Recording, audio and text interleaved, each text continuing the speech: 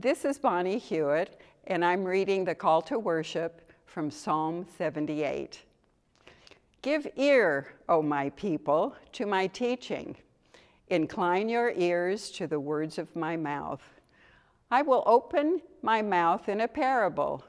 I will utter dark sayings from of old, things that we have heard and known that our ancestors have told us. We will not hide them from their children.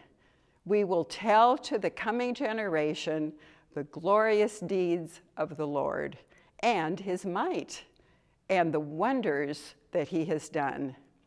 He established a decree in Jacob and appointed a law in Israel, which he commanded our ancestors to teach to their children, that the next generation might know them, the children yet unborn, and rise up and tell them to their children, so that they should set their hope in God and not forget the works of God, but keep his commandments.